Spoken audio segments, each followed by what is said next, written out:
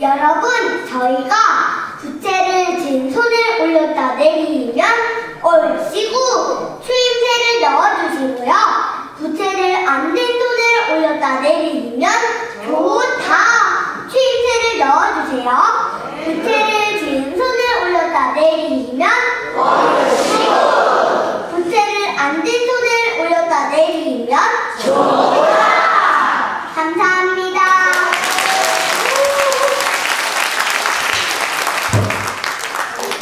그때 연구가 부자가 된 흥부 집을 찾아가서 야, 흥보야, 저 목에 있는 거 저것이 무엇이냐? 예, 그것이 화초장 이올시다. 화초장? 그러면 그 속에 뭐 들었냐? 예, 은근 보아가 담뿍 들었지요.